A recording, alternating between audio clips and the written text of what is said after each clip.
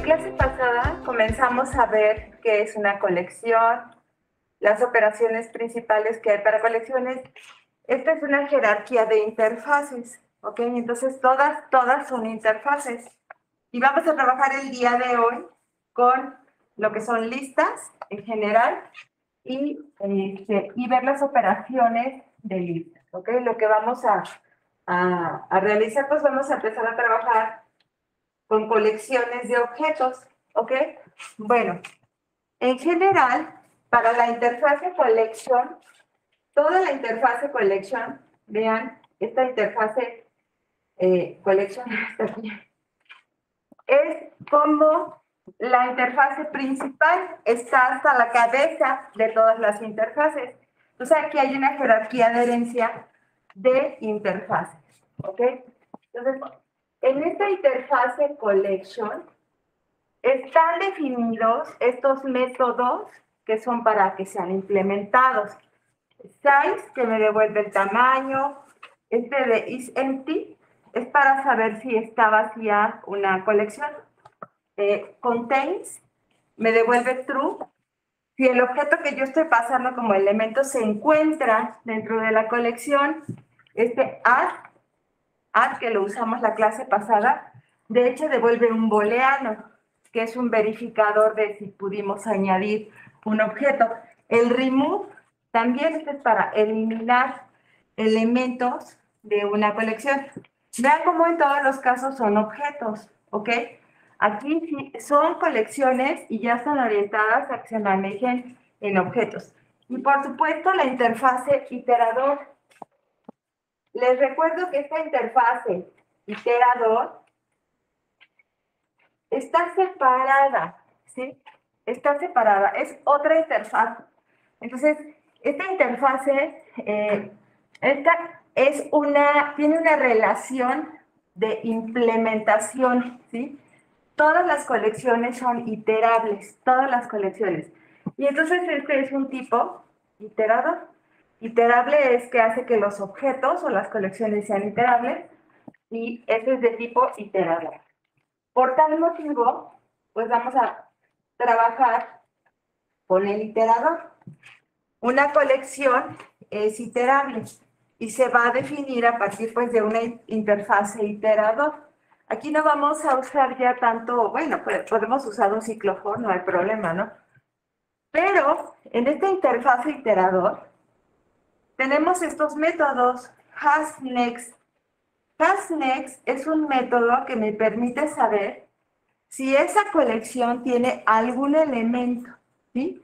El hash next va a devolver un true si hay algo en, en esa colección. Y el next lo toma, ¿ok? Aquí sí es muy importante que quede bien claro la diferencia entre hash next y next. En una colección, imagínense una colección como una tabla, que no se ve, pero es una tabla que tiene elementos. Esta es la colección, ¿no? Entonces, el hasNext averigua si tiene elementos. Hasnext simplemente averigua, ¿hay algo aquí? Sí, si hay algo, este, no hace nada con ello, o sea, solamente dice sí o no, true o false. Mientras que next, next el método next toma el objeto, ¿sí? Este next va a tomarme el objeto completo, o ya lo, lo refiere, ¿ok? Y el remove pues solamente va a devolver, va a hacer una eliminación de un elemento remove en donde esté el next, imagínense que hay un apuntador, ¿sí? Entonces, donde está el next, va a eliminar. Aquí está un ejemplo. Cualquier colección, cualquiera, es iterable. Entonces, para iterar sobre una colección, debo declarar un objeto de tipo iterador. Eso es lo primero. Este se puede llamar como ustedes quieran, pero debe ser de tipo iterador. Y este se asocia con la colección punto iterador. O sea, con eso se obtiene el iterador. Y vean, este while solamente averigua si hay uno siguiente. si hay siguiente, si hay siguiente. Y con iter next estoy obteniendo el objeto que está en esa posición. Entonces, después de que yo recorro toda la colección, pues este ítem se quedó hasta abajo, ¿sí? O sea, hasta el final y donde ya no hay nada, de hecho, porque termina cuando este es falso. Entonces, este, eh, bueno, este iterador es muy útil, es muy bueno para que hagamos este, recorridos, búsquedas. Es polimórfico porque va a funcionar para todas las colecciones. O sea, todas las colecciones son iterables. Vamos a trabajar con listas y listas este, de objetos, ¿no? Para poder trabajar con listas, recuerden que list es una interfase. Nosotros nos tenemos que ir hacia abajo y mirar las clases de implementación. Entonces, las listas, pues son los recursos que más empleamos en, en programación, son de los más sencillos y además me permiten estar añadiendo, añadiendo elementos.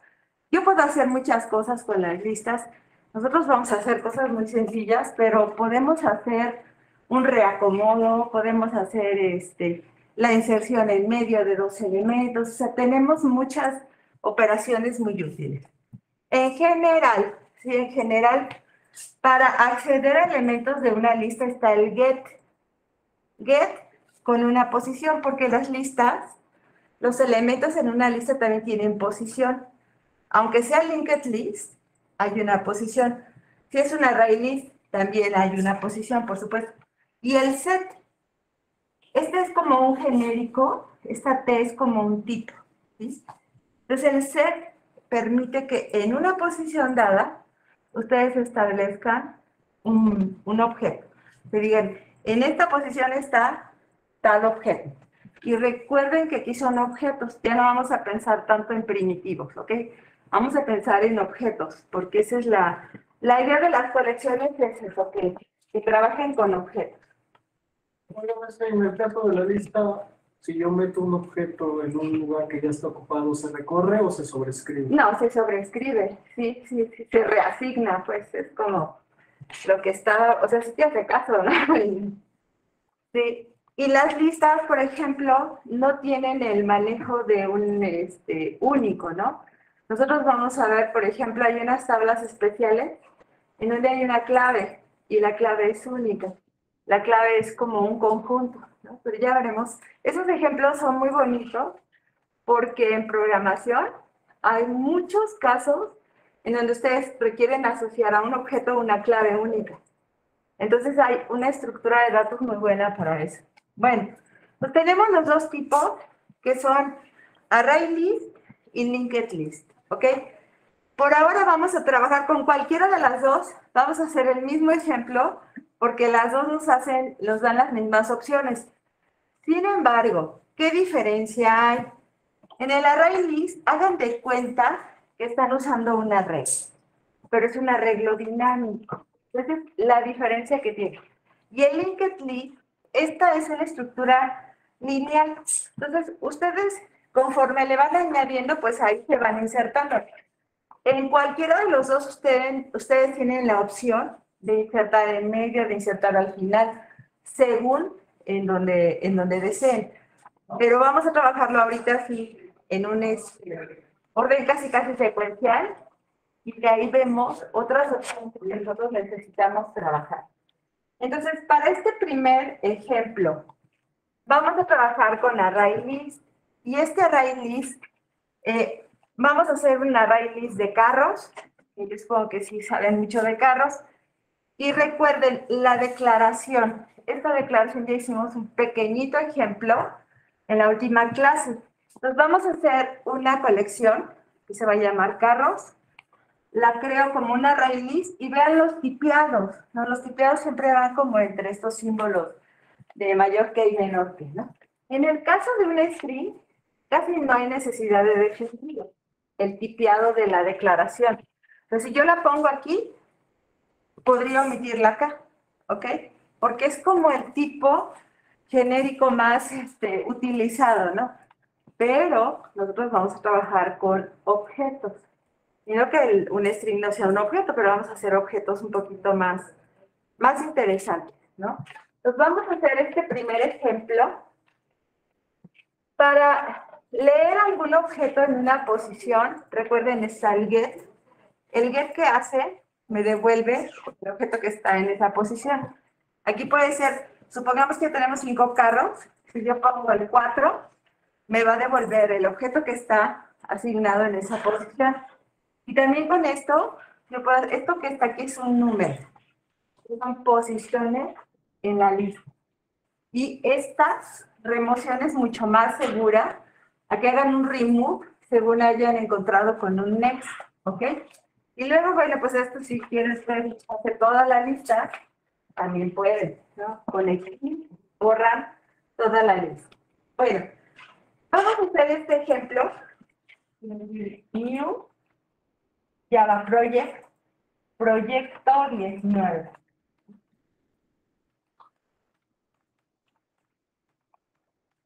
Ahí está.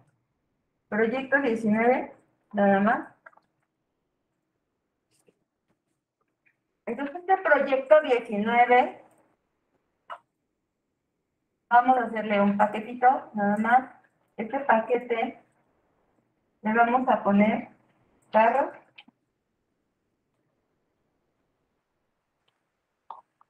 Y aquí hacemos una clase nueva. Vamos a poner a este arreglo carro. Bueno, yo no sé si aquí se acostumbra más decir carros o automóviles, pero son carros. Bien. En este arreglo de carros que vamos a hacer, pues es una array list muy sencillo. No vamos a hacer una array list. Este es una array list de cadena, ¿ok? Entonces, para este array list de cadena, fíjense, yo lo puedo declarar de tipo lista, así, y le voy a poner, pues que va a ser una lista de cadenas, aquí donde yo especifico con el string el tipo. Podría tener una lista de dobles, de enteros, de lo que yo necesito. Entonces vamos a poner aquí que se va a llamar mis carros, o mis carros que sueño, ¿no? Y le vamos a poner en el new la forma como vamos a instanciar, entonces ahora sí es una clase. Y le ponemos aquí array list. Fíjense, si yo pongo de esta manera, obviamente tengo que meter todos los imports, que son los requeridos, siempre de Java útil. Cuando ustedes estén trabajando con colecciones, son de Java útil, ¿ok? El array list de Java útil. Entonces, tienen ustedes la opción de manejar la definición de la colección. Esta es una colección de cadena de esta forma. Si se fijan, solamente tienen aquí unos warnings. Pues cuando les dice este, que añadan los argumentos a list, esto depende principalmente de la versión de Java con la que estén compilando. Las versiones más recientes luego les marcan un warning cuando han tipeado doblemente. Pues aquí recuerden que estoy usando yo una 1.8, creo que es. Y pues ya, ahí está.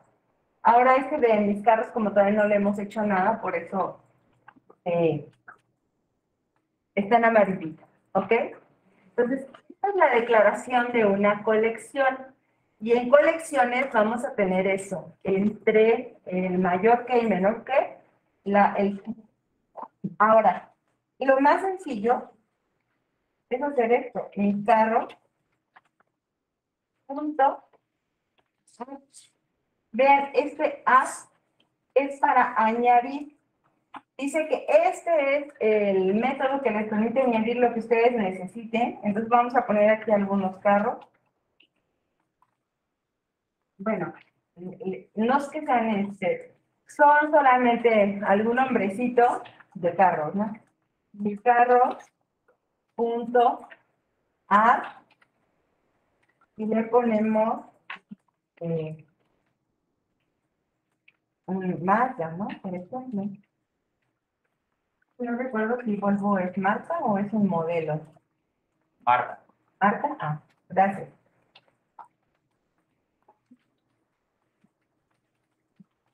Y si uno pone aquí eh, este punto A, si ustedes ponen aquí un Ferrari, este también les marca, ¿no? ¿O no? Sí.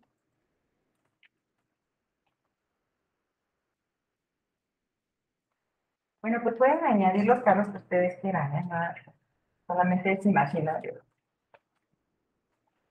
Y voy a poner aquí un... ¿Cómo se llama?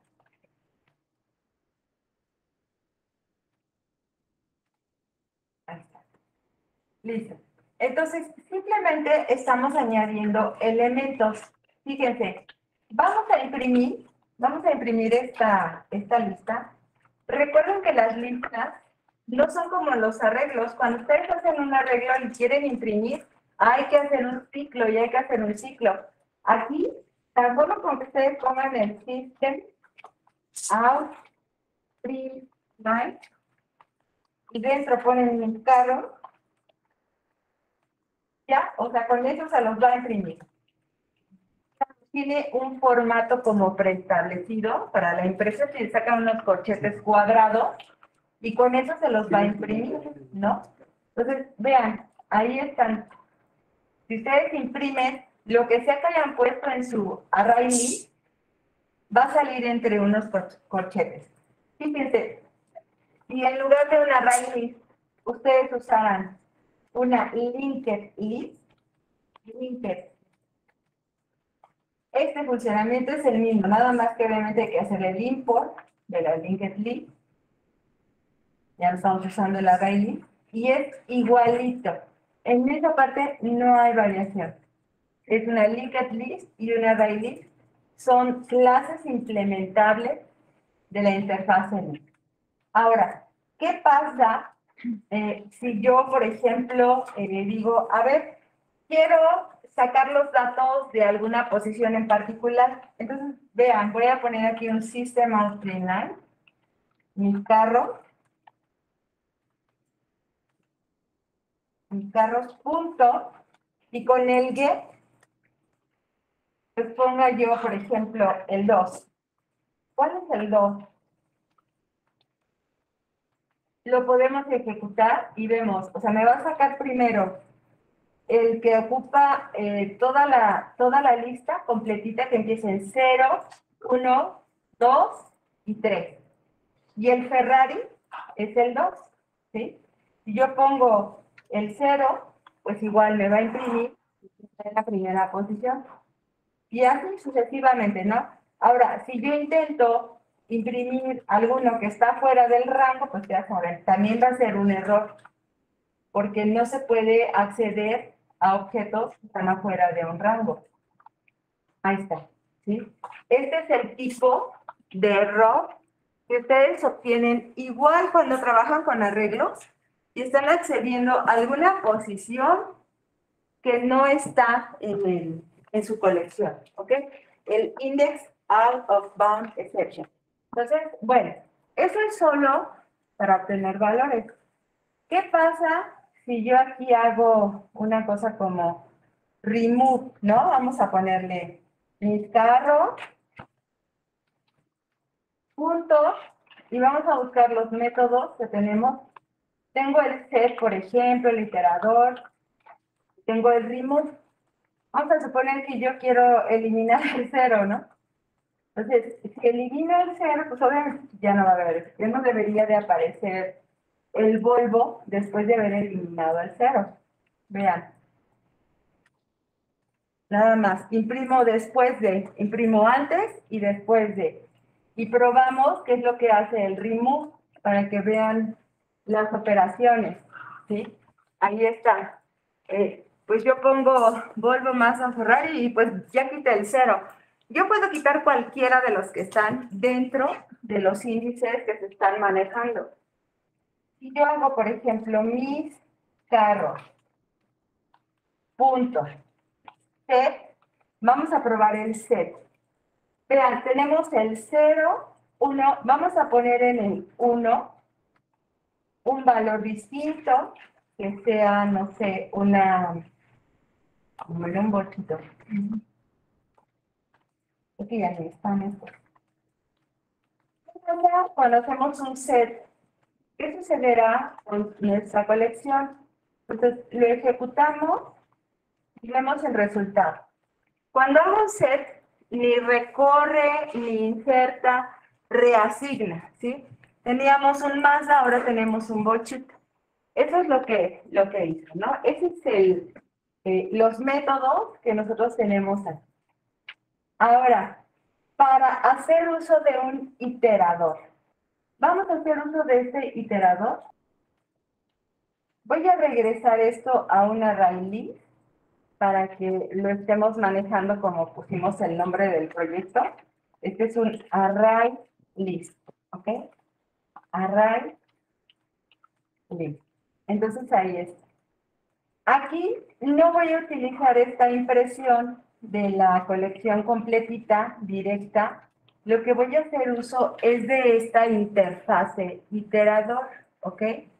La interfase iterador también la debo de importar, viene de Java útil. Esta viene por separado, recuerden. Y esta colección, en realidad, pues no es esta, ¿verdad? Es mi carro punto iterator. Con esta declaración, yo estoy haciendo un iterador sobre mis carros. Ahora yo ya puedo recorrer esta colección de mis carros. Entonces, simplemente lo que va a hacer esta colección es que, pues mientras haya algo, lo va a imprimir o lo va a ir este, sacando este iter next simple y sencillamente obtiene el objeto. Si lo ejecutamos, vean, la forma como imprime, pues ahora sí es de acuerdo a como yo le haya puesto en el sistema, ¿no? Ese es más o menos lo que sería como un equivalente a hacer un ciclo for para recorrer una colección con un iterador.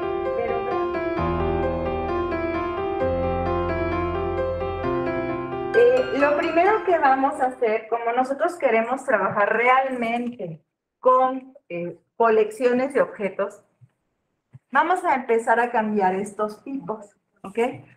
Aquí, como ven, está en un ciclo for. En un ciclo for ustedes pueden usar el método size para poder hacer el recorrido de uno por uno.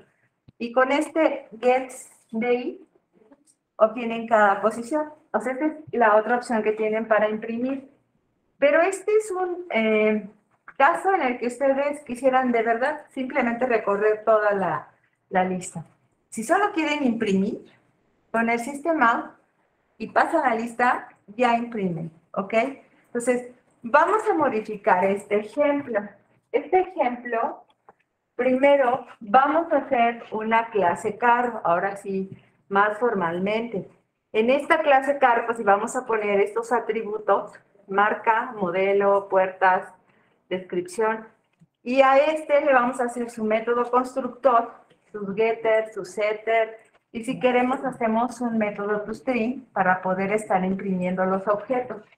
De tal manera que sobre de este, sí, bueno, aquí está el método toString que vamos a, a trabajar. Sobre de este, ya vamos a hacer el añadido de carros de uno por uno. Fíjense, tienen que hacer una construcción de objetos, construcción de objetos, así sucesivamente, ¿no? Para poderlo, este, eh, pues, trabajar ya en colección de objetos. Y vamos a empezar a hacer las operaciones, ¿ok? Aquí ya no nos vamos a quedar solo con añadir y listar, sino poder eliminar o buscar algún elemento. Eso es algo que nos va ayudar bastante. Entonces, vean. Vamos a hacer primero la clase, esta clase carro. Vamos a traer los atributos. Y aquí mismo, en este mismo proyecto 19, voy a crear una nueva clase. Esta sí va a ser una clase de referencia, clase de definición. Esta se va a llamar carro, no le pongo método main. Y a esta clase carro, pues ya, le pongo yo ahí los atributos. Son marca, modelo, puertas, descripción. Son buenos los atributos para los carros.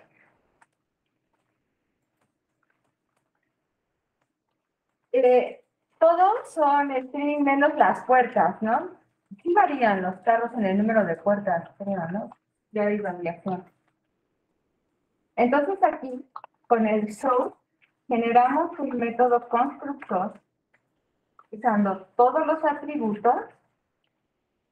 Ahí está, ¿no? El método constructor de la clase car. Tenemos marca, modelo, puertas y descripción. Ya que tenemos el método constructor, vamos a poner los métodos getter y setter. Selecciono todos y listo. Ahí están. ¿Ok? ¿Ya?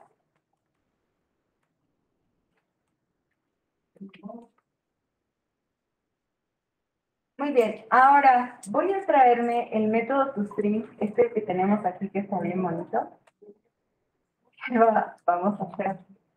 Eh, voy a generar un método toString. Vean este método toString tan particular que tenemos aquí. Igual podríamos hacer otro método toString este, tan solo haciendo un iterador, pero ahorita lo arreglamos. Es que este método toString recibe una posición. Vean, esta posición es como si quisiéramos manejar cada uno de los objetos por su posición. Entonces, si yo paso la posición de cada carro, pues aquí me va a imprimir específicamente el, de cada, cada uno, ¿no? Aquí son características, el carro, la marca, el modelo, la descripción es solo para que ustedes tengan aquí pues una cosa un poquito más eh, acomodada, ¿no? Con respecto al, al, a la impresión.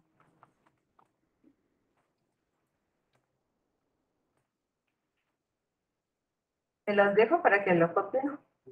Por favor.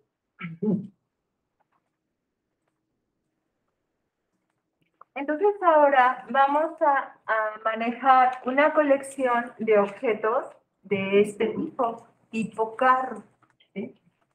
Y en general las colecciones así son. Vamos a estar manejando objetos un poquito más complejos con los que vamos a, estar trabajando.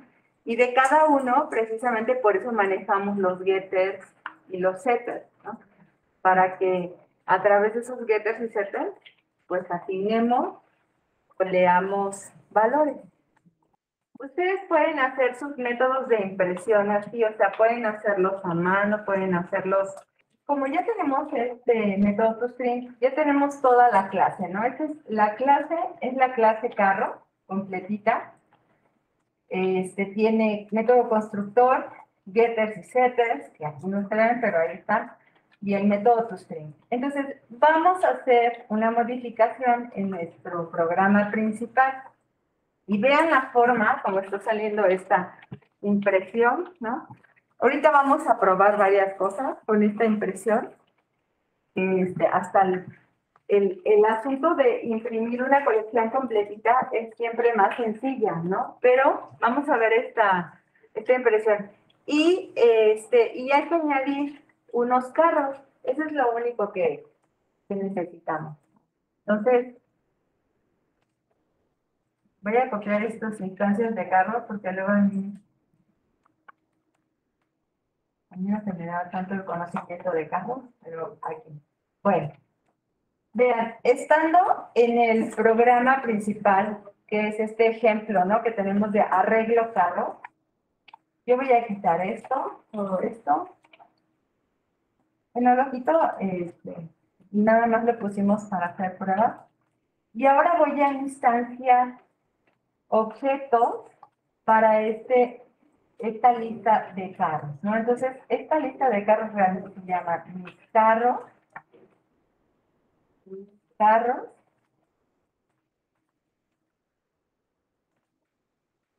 Y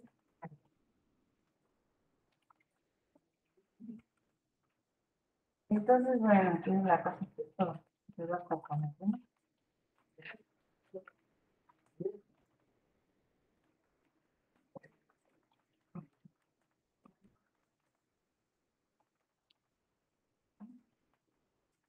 Nada más la cosa.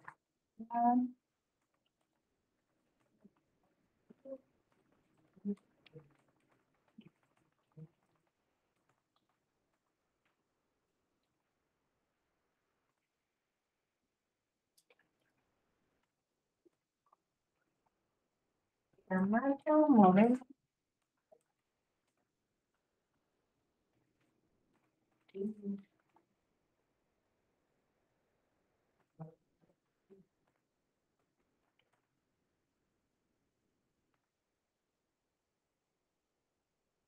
Ah, ya, ya, ya sé qué cosa tengo mal.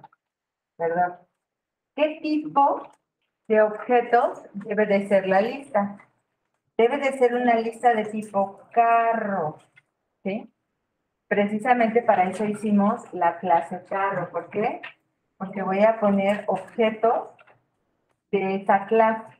Esa es la, la principal diferencia, ¿no? Aquí es una lista de objetos carro. En el caso anterior teníamos un string, ahora vamos a hacer objetos. Vamos ahora a imprimir. Voy a imprimir exactamente como tenemos el ejercicio. Y después vamos a hacer aquí algunas modificaciones porque esta impresión de esta forma, vean, este es un ciclo for.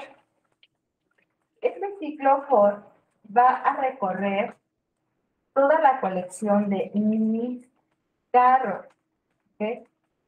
Y básicamente lo que está haciendo es a través del tamaño de la colección con el size, size hagan de cuenta que hace lo mismo que len en los arreglos. Entonces, este ciclo es igualito que como hacíamos con los arreglos usando len. Y con el sistema Line Aquí ya no tengo que usar los corchetes, ahora uso el get y, ¿ok? Pero estamos pasando el toString. Ahora, este, esta I que lleva el toString, ¿es necesaria o está redundante? Es el constructor, el toString pide un... Es parámetro. Bueno, es necesaria porque el método lo está pidiendo, pero ¿y si se lo quito? A ver, primero lo ejecutamos de que funcione, ¿no? Primero que nada. Es necesaria cuando está definida en, el, en la clase carro, por supuesto. Ahora ven, aquí ya no estamos usando el iterador, ¿no? Pero vamos a ejecutarlo. Y claro, sí funciona, ¿no? Debe de salirles ahí el carro con su posición y sus datos. El carro, posición y sus datos. El carro, ahí está, ¿no? Pero si yo voy a carro Aquí, claro. Le quito el y en alguna parte dentro lo uso aquí nada más porque estoy diciendo el carro número, este pues ya no, ahí le quito la I, ¿no? Y aquí le quito esta I, nada más. Esto debe compilar y ejecutarse. Claro que ya no me va a decir qué posición tiene, ¿verdad? El pobrecito carro, pero fíjense. Carro número, quién sabe, y ahí vienen los datos. Marca, eh, modelo, serie. Entonces, este método toString eh, es un método modificado. Este método toString es un método modificado en el que se está pasando el valor de la i exclusivamente Como control. Ajá, para que haya una información de la posición. La posición no la conoce directamente el, el método toString, porque al método toString solamente le llega un objeto de tipo carro y de ninguna manera él es consciente, este método, de qué posición tiene el carro. Entonces, está ahí tiene una función de que si ustedes quieren hacer un método que incluya la posición que tiene, pues bueno, con esta ahí, ¿no? ¿De qué otra manera se puede hacer eso? Pues que imprimieran aquí la posición en la que van. ¿ok? Eso sería.